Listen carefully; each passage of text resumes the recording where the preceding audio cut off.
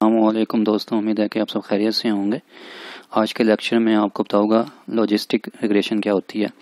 तो पहले लेक्चर में मैंने आपको काई टेस्ट के बारे में बताया फीचर टेस्ट के बारे में बताया और टी टेस्ट के बारे में बताया, जो सर्वे के डाटा भी हम लगाते हैं। तो ये भी यानी लॉजिस्टिक रिग्रेशन भी हम सर्वे के डाटा भी लगा सकते हैं। आज इसके बारे में डिस्कस करेंगे। चलिए स्टार्ट करते हैं। सबसे पहले मैं बता दूँ कि लॉजिस्टिक रिग्रेशन यानी होती क्या है। लॉजिस्टिक रिग्रेशन के लिए बाज़ लोग इसको बाइनरी लॉजिस्टिक के नाम से भी क्या इसको कहते हैं। और बाज़ लोग यानी इसको रिग्रेशन मॉडलिंग भी कहते हैं। बाज़ लोग इसको रिग्रेशन मॉडल भी कहते हैं। ठीक है डिफरेंट नेम यूज़ करते हैं इसके लिए। तो सबसे पहले इसको डिफ़ाइन कर लेते हैं कि लॉजिस्टिक रिग्रेशन होती क्या है। ठीक है? अच्छा एक चीज़ जहन में रखे कि लॉजिस्टिक रिग्रेशन के अंदर हम जो हमारा बाइनरी डाटा होता है बाइनरी वेरिएबल होता है, उसको लेते हैं। या इसको हम एक नफ़ा यूज़ करते हैं डाइकोटोमोस डाइकोटोमस भी इसको यूज़ करते हैं या फिर बाइनरी यूज़ करते हैं। बाइनरी का मतलब आपको पता है कि सिंपल टू कहते हैं बाइनरी को ना। तो बेसिकली बाइनरी यानी इंडिपेंडेंट वेरिएबल होता है लॉजिस्टिक रिगेशन के अंदर। यानी बाइनरी वेरिएबल क्या है? इसका मतलब यह है कि इसमें जो आपके सर्वे का डाटा होता है, जिसमें जो क्वेश्चन होते हैं, उसका जो आंसर होता है या सर नो या लिटरेट यानी इसमें सिर्फ़ दो कैटेगरी बनाई होती है आपने दो से ज़्यादा नहीं होती। इसको बाइनरी कहते हैं, कि जिसका आंसर जो क्वेश्चन है, उसका आंसर दो कैटेगरी में डिवाइड किया हुआ आपने ना। यानी लोगेस्टिक लॉजिस्टिक रिग्रेशन हम वहाँ पे लगाते हैं, जहाँ पे हमारा जो वेरिएबल हो, वो बाइनरी हो, और कैटेगरी को, और बाइनरी हो। ठीक है दो चीज़ें ध्यान में रखनी है। आपने कैटेगरी हो कैटेगोरिकल हो, और बाइनरी हो। उस पर हम लॉजिस्टिक रिग्रेशन लगाते हैं। ठीक हो गया। और लॉजिस्टिक रिग्रेशन यानी ना एक प्रिडिक्टिव एनालिसिस है ना, यानी प्रिडिक्शन देती है हमें ना जो हमारा यानी डिपेंडेंट वेरिएबल है, जो बाइनरी वेरिएबल है। ठीक हो गया। और इसका रिलेशन यानी इसमें क्या होता है लॉजिस्टिक रिलेशन में? हम ये डिटर्मिन करते हैं कि जो हमारे डिपेंडेंट बाइनरी वेरिएबल है, उसका रिलेशन क्या है? इंडिपेंडेंट वेरिएबल के साथ ना। ठीक है इसमें ये डिटरमिन करते हैं हम ना कि फॉर एग्ज़ाम्पल मैं आगे एग्ज़ाम्पल भी दूँगा उससे उससे क्लियर हो जाएगी आपको। कि हमारा इन दोनों डिपेंडेंट बाइनरी वेरिएबल और बाकी जो हमने इंडिपेंडेंट वेरिएबल्स लिया है, उसमें क्या, यानी डिफरेंस है? और एक चीज़ यहाँ पे ये भी क्लियर कर दूँ कि लॉजिस्टिक रिलेशन हम क्यों लगाते हैं? इसको लगाने का मकसद क्या है कि काई टेस्ट में भी वही चीज़ होती है और फीचर टेस्ट जो हमने ये लगाया, उसमें वही चीज़ होती है। लेकिन दोनों में डिफरेंस क्या है कि काई टेस्ट के अंदर हम सिर्फ़ दो वेरिएबल का आप इसमें रिलेशनशिप मालूम कर सकते हैं। लेकिन लॉजिस्टिक रिग्रेशन के अंदर हम एक, यानी दो से ज़्यादा वेरिएबल का रिलेशन आप इसमें मालूम कर सकते हैं। ठीक है, जैसे वन और मोर इंडिपेंडेंट वेरिएबल ठीक है मोर इंडिपेंडेंट यानी ना मोर इंडिपेंडेंट वेरिएबल्स का आप इसमें रिलेशनशिप मालूम कर सकते हैं। ठीक है तो इसलिए यानी logistic relation at a time हम काफ़ी ज़्यादा वेरिएबल्स आप इसमें रिलेट कर सकते हैं। ठीक हो गया? अच्छा इसके बाद में एक चीज़ हम सुनते हो गए, एक होती है लीनियर रिग्रेशन एक होती है लॉजिस्टिक रिग्रेशन इन दोनों में क्या फ़र्क होता है? ठीक है, ये बेसिक फॉर्म है रिग्रेशन की ना, और लॉजिस्टिक रिग्रेशन जो होती है, ये यानी बाइनरी डिपेंडेंट जो वेरिएबल होता है, इसमें बाइनरी होता है। ठीक हो गया क्योंकि इसमें आपने कैटेगरी कैटेगरी जो दो बनाई होती है, और ये क्वालिटेटिव डाटा होता है। ठीक है क्वालिटेटिव डाटा जो आपके क्वेश्चन होते हैं टेक्स्ट की फॉर्म में होता है, उस डाटे पे यानी जो डिपेंडेंट वेरिएबल हम सेलेक्ट करते हैं, वो कैटेगोरिकल होता है, और क्वालिटेटिव भी कह सकते हैं उसको, और बाइनरी होता है। ठीक है, लेकिन लीनियर रिग्रेशन के अंदर हमारा जो डिपेंडेंट वेरिएबल होता है, वो कंटिन्यूस होता है, यानी क्वान्टिटेटिव डाटा होता है न्यूमेरिक फॉर्म में होता है, या लैब का डाटा होता है उस पर हम लीनियर रिग्रेशन लगाते हैं। लॉजिस्टिक रिग्रेशन वहाँ पर लगती है, जहाँ पे हमारा डिपेंडेंट वेरिएबल बाइनरी हो और क्वालिटेटिव हो। ठीक हो गया? इस में रखना है आपने ना? और जो लीनियर रिग्रेशन होती है, उसमें जो हमारे पास ट्रेंड बनता है, एक स्टेट लाइन जिसको ट्रेंड लाइन कहते हैं हम तो इस पर मैं एक लेक्चर बनाऊँगा बाद में तो उधर ज़्यादा क्लियर करूँगा आपको चीज़ें। तो ये सिंपल चीज़ में रखे जब रेग्रेशन लीनियर होती है तो उसमें जो एक लाइन आती है, वो लीनियर होती है स्ट्रेट लाइन होती है। उससे हम फिर वो फार्मूला लगा, निकालते हैं और फिर आगे यानी उसकी कैलकुलेशन करते हैं। तो यहाँ पे सिर्फ़ जेन में रखे, इन दोनों में डिफरेंस क्या है? कि लॉजिस्टिक रिग्रेशन में हम डिपेंडेंट जो हमारा वेरिएबल होता है, वो बाइनरी होता है और क्वालिटेटिव होता है। और डिपेंडेंट वेरिएबल जो लीनियर रिग्रेशन है, उसमें डिपेंडेंट वेरिएबल कंटिन्यूस होता है, यानी क्वान्टिटेटिव होता है। ठीक हो गया? ये दोनों में मेन डिफरेंस है। उसके बाद जो हमने आज एग्ज़ाम्पल यानी कवर करनी है, जो मैं स्पेसिस अभी स्टार्ट करूँगा तो उसमें जो एग्ज़ाम्पल कवर करूँगा, वो मैं आपके सामने एक्सप्लेन कर रहा हूँ, ताकि जब वहाँ पे हम स्पेसिस में ये लगाए तो आपको क्लियर हो। यानी जो हमारा डिपेंडेंट बाइनरी वेरिएबल होगा स्टंटिंग ग्रो चाहे चिल्ड्रन होगा, यानी जो स्टंटिंग चिल्ड्रन है, उस पर हम, वो हमारा डिपेंडेंट बाइनरी वेरिएबल होगा, उसको हम सेलेक्ट करेंगे।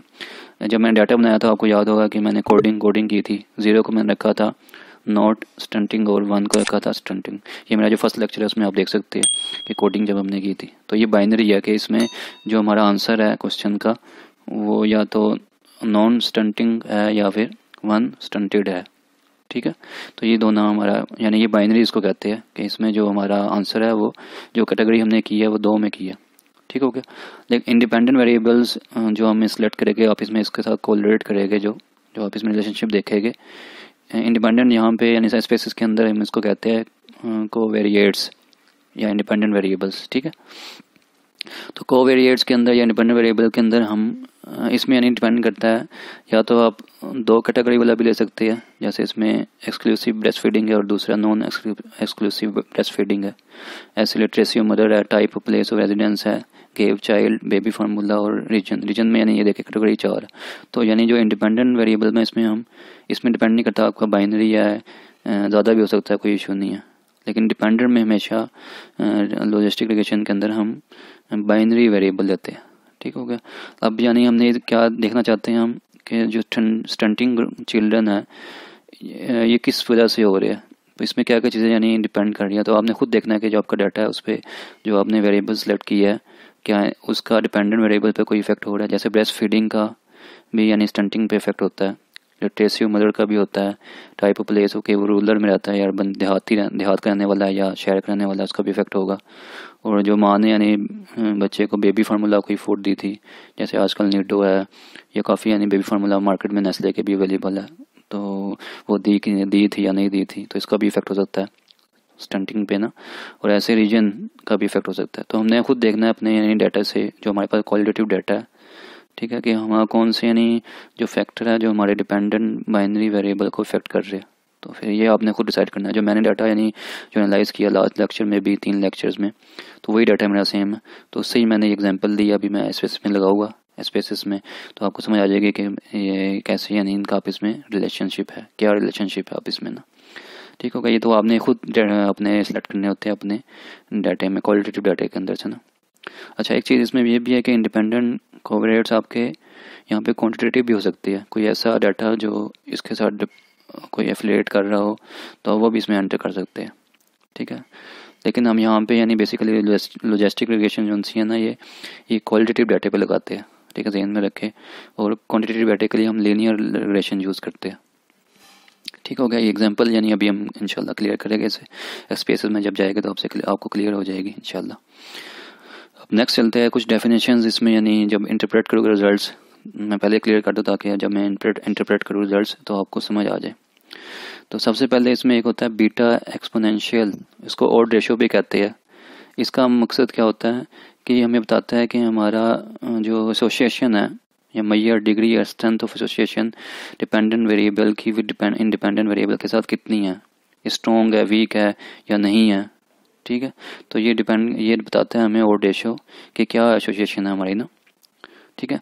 तो ये एक, एक यानी ना इसमें एक कंसेप्ट है कि और रेशो अगर जितनी एक से बड़ी होगी और या जितनी एक से छोटी होगी उतनी हमारी जो एसोसिएशन होगी वो बड़ी स्ट्रॉन्ग होगी डिपेंडेंट वेरिएबल और इंडिपेंडेंट वेरिएबल के दरमियान। ठीक है, ये जेन में जब मैं स्पेस से स्टार्ट करूँगा तो वहाँ पे ये चीज़ क्लियर करूँगा। अगर और रेशियो आपकी वन आ गई है तो इसका मतलब है हमारे डिपेंडेंट वेरिएबल और इंडिपेंडेंट वेरिएबल में कोई आप इसमें एसोसिएशन नहीं है, कोई रिलेशनशिप नहीं है। ठीक हो गया? तो ये मेन यानी ना यहाँ एस में हम जब इंटरप्रेट करेगा रिज़ल्ट तो वहाँ पे ये एक वैल्यू होती है।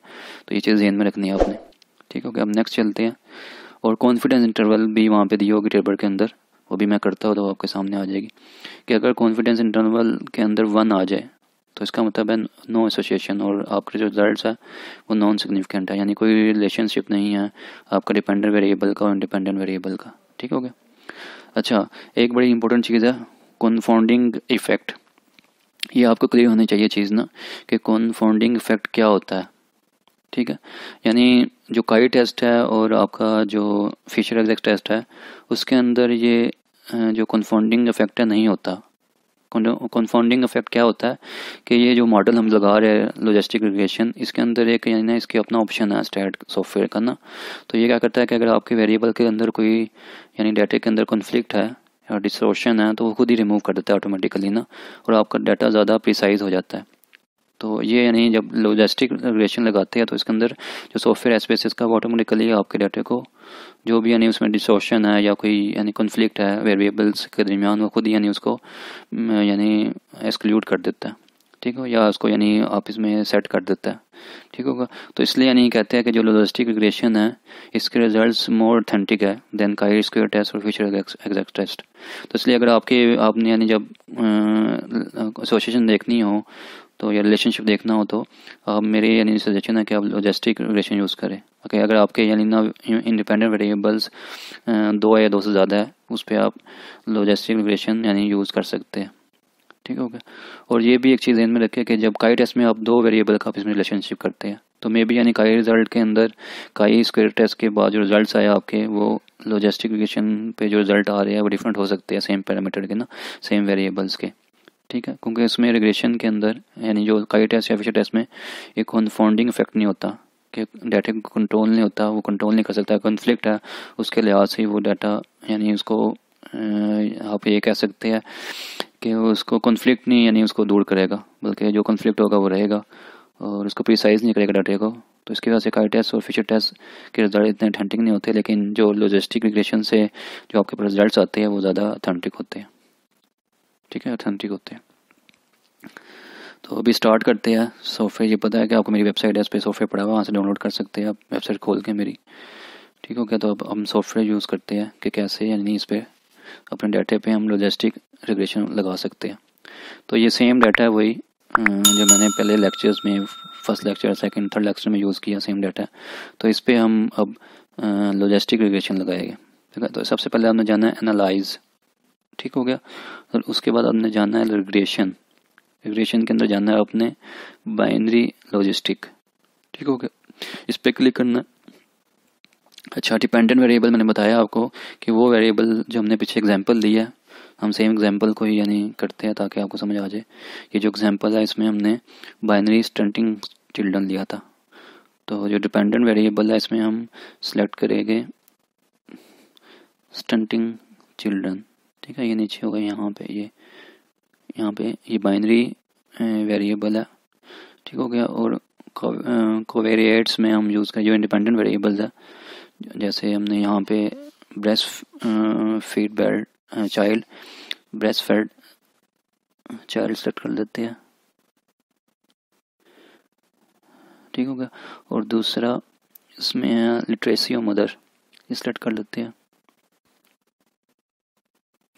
उसके बाद इसमें है type of place of residence ठीक है, यहाँ से सेलेक्ट कर लेते हैं type of place of residence ठीक हो गया, और उसके बाद एग्जांपल में है गेव चाइल्ड बेबी फार्मूला ठीक है गेव चाइल्ड बेबी फार्मूला ठीक है, और उसके बाद रीजन रीजन जॉनसन आपका ये आ गया। ठीक है, ये सिलेक्ट कर लिया आपने, ये इंडिपेंडेंट वेरिएबल है सारे, जो उस पर इसको साथ इफ़ेक्ट कर रहे हैं स्टंटिंग को ना। और स्टंटिंग जो सी चिल्ड्रन है, ये बाइनरी डिपेंडेंट वेरिएबल है। ठीक हो गया? अब इसके बाद आपने जाना है ऑप्शन में, और यहाँ पे आपने कॉन्फिडेंस इंटरवल फॉर एक्सपोनेंशियल या बीटा एक्सपोनेंशियल ये 95 परसेंट पे करेंगे हम। वैसे टिक करना है यहाँ पे ना, और उसके बाद कंटिन्यू कर देना। और उसके बाद आपने ओके कर देना। ठीक हो गया? ये आपके रिजल्ट्स आ गए। ये टेबल आपने फुल सारे छोड़ देने हैं, इनका कोई ना एक्सप्लेन करने की ज़रूरत नहीं है। ये मॉडलिंग है जैसे इसने, ये स्टैट अपने खुद यानी ना एडजस्ट करती है ठीक है डिफरेंट चीज़ें हैं यहाँ पे। तो ये करके जो फाइनल टेबल आएगा हमारे पास, इससे आपने अपने डाटे को इंटरप्रेट करना है। ठीक हो गया? तो यहाँ पे आप देख सकते हैं, सबसे पहले हम सिग्निफिकेंट देखते हैं, जो ब्रेस्ट फेड चाइल्ड है। तो आप देख सकते हैं, ये सिग्निफिकेंट इफ़ेक्ट है। कि ब्रेस्ट फीडिंग जो सी है ना जिन्होंने दी थी, यानी माँ का दूध लाया था उस पर इंस्टेंटिंग में, यानी वो इसका सिग्निफिकेंट इफ़ेक्ट है। ठीक हो गया? अच्छा। उसके बाद ये मैंने बताया था आपको और रेशो या बीटा एक्सपोनेंशियल यानी इससे भी हम, यानी ये बताया था कि अगर, मैं दोबारा खोल के आपको एक्सप्लेन कर देता था कि आपको क्लियर हो जाए। जी वाली। ठीक है बेटा एक्सपोनेंशियल हमें क्या बताता है कि ये डिग्री ऑफ़ एसोसिएशन बताता है हमें ना, कि जितनी वैल्यू एक से बड़ी या एक से छोटी होगी। अब ये देख सकते हैं इसमें क्या है। इसमें थर्टी एट है तो ये एक से बहुत बड़ी है। तो उसका मतलब है ब्रेस्ट फेड चाइल्ड का स्टंटिंग के साथ स्ट्रॉन्ग एसोसिएशन है। ठीक हो गया? अच्छा दूसरी लिटरेसी ऑफ़ मदर इसका भी आप देख सकते हैं लिटरेसी ऑफ़ मदर इसका भी आप देख सकते हैं। कि पॉइंट ज़ीरो ज़ीरो नाइन यानी पॉइंट ज़ीरो फाइव से छोटी है तो ये भी सिग्निफिकेंट इफ़ेक्ट है। तो इसकी आप देखें, जो बीटा एक्सपेंशन एक्सपोनेंशियल जो वैल्यू है, वो भी वन से बड़ी है। तो इसका भी एसोसिएशन है। स्ट्रॉन्ग एसोसिएशन तो नहीं है, लेकिन यानी एक से थोड़ी सी बड़ी है तो ये भी एसोसिएशन है कि लिटरेसी मदर भी स्टंटिंग को अफेक्ट कर रही है। ठीक हो गया? उसके बाद अगर हम type of residence type of place of residence के रेजिडेंस कहाँ पर रहता था? देहात में रहता था या फिर शहर में रहता था? ये भी यानी ज़ीरो पॉइंट ज़ीरो फाइव से छोटी है तो ये भी सिग्निफिकेंट है। तो इसकी वैल्यू भी एक से बड़ी है तो स्ट्रॉन्ग एसोसिएशन है इसमें भी ना? एसोसिएशन है यानी। ठीक होगा, ये भी इफ़ेक्ट कर रही है आपके स्टंटिंग को। उसके बाद गेबी यानी गेब चाइल्ड बेबी फार्मूला ठीक होगा, इसमें आप देखें, जो पी की वैल्यू है वो greater than zero point zero five तो नॉन सिग्निफिकेंट इफ़ेक्ट है। तो ये यानी इसमें कोई एसोसिएशन नहीं है और यहाँ पे भी आप देखो वैल्यू यानी जो है, ये वन से थोड़ी सी छोटी है। ठीक है? तो यहाँ पे सिग्निफिकेंट इतना ज़्यादा इसका इफ़ेक्ट नहीं है। ठीक हो गया? इसके बाद आ जाता है रीजन रीजन का भी देख लेते हैं हम। ये ज़ीरो पॉइंट ज़ीरो फाइव से बड़ी है तो ये नॉन सिग्निफिकेंट है ये भी एक से बड़ी है। तो इनका भी आप इसमें रीजन का भी कोई इफ़ेक्ट नहीं है स्टंटिंग पे ना। ये तो हमारा जो डाटा है, उसके मुताबिक जो हमने डाटा लिया था तो उसके मुताबिक आपका डाटा डिफरेंट भी हो सकता है। ठीक है? तो हमारा डाटा जो शो कर रहा है, इस, यानी ना ये रिज़ल्ट शो कर रहा है। ठीक हो गया? तो ये पी की वैल्यू ये जो जिगनी का ये पी की वैल्यू है, और ये जो है और रेशो भी कहते हैं इसको, या बीटा एक्सपोनेंशियल भी कहते हैं। अगर ये एक से जितनी बड़ी होगी, उतना ही रिलेशन आपका एसोसिएशन इतनी स्ट्रॉन्ग होगी। ठीक हो गया? उसके बाद कॉन्फिडेंट इंटरवल लेवल है। ये मैं मैं बताया या नहीं आपको, यानी क्या होता है? जैसे ये बताया कि अगर कॉन्फिडेंस इंटरवल्स कॉन्टेन्स वन तो नो एसोसिएशन अब अब इसमें देख सकते हैं, ये पच्चीस से मिनिमम पच्चीस है और साठ, यानी इसमें एक नहीं आ रहा बीच में ना। पच्चीस के बाद छब्बीस होगा, सताईस अट्ठाईस उनतीस, फिर साठ। तो इसमें तो इसके मतलब है, इसमें सिग्निफिकेंट इफ़ेक्ट है। इन तीनों जगह से हम अपने रिज़ल्ट को इंटरप्रेट कर सकते हैं कि पी वैल्यू से भी बीटा एक्सपोनेंशियल या आउट वैल्यू से भी, और रेशियो से भी, या फिर कॉन्फिडेंस इंटरवल से भी। तीनों चीज़ों से हम अपने रिज़ल्ट इंटरप्रेट कर सकते हैं। अब इसमें देखते हैं, इसमें भी एक नहीं आ रहा। ठीक है वन से शुरू वन पॉइंट वन से शुरू हो रहा है, एक से बड़ा तो ये भी यानी सिग्निफिकेंट है। और इसमें यानी वन पॉइंट थ्री से शुरू हो रहा है, ये भी एक से ज़्यादा बड़ी है तो इसका भी आप फैक्ट सिग्निफिकेंट है। ठीक है, इसमें आप देखिए point one nine seven point one उसके बाद वन भी बीच में होगा तो उसका मतलब है ये नॉन सिग्निफिकेंट है। ठीक होगा, ऐसे ही पॉइंट नाइन एट फोर है, इसका बीच में वन आ रहा है तो ये भी नॉन सिग्निफिकेंट है। तो इन तीनों जगह से आप सिग्निफिकेंट से पी वैल्यू से बीटा एक्सपोनेंशियल या ऑड रेशो से या फिर कॉन्फिडेंस इंटरवल से अपने डाटे को इंटरप्रेट कर सकते हैं। तो आज मैंने बताया आपको कि रिग्रेशन लॉजिस्टिक रिग्रेशन क्या होती है। तो ये सिंपल थे इतना मुश्किल नहीं है तो यहाँ से आप डाटे को आप इजली एनालाइज कर सकते हैं। मैं दोबारा बता देता हूँ कि एनालाइज में जाना है आपने रिग्रेशन में जाना है। रिग्रेशन के बाद हमने जाना है बाइनरी लॉजिस्टिक में। डिपेंडेंट में आपने अपना वो जो डिपेंडेंट बाइनरी वेरिएबल है वो लेना है। और इंडिपेंडेंट में आप कोई भी ले सकते हैं। ठीक हो गया।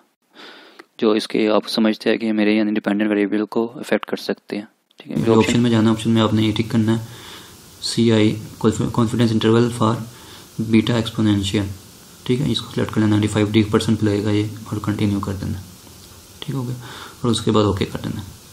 ठीक है तो ये आपका यूँ टेबल बन जाएगा। और ये मैं बता दिया आपको कैसे, यानी आपने पी वैल्यू से और आप अपनी बीटा एक्सपोनेंशियल वैल्यू या और रेशो भी कहते हैं इसको, या कॉन्फिडेंस इंटरवल से अपने डाटा को इंटरप्रेट कर सकते हैं।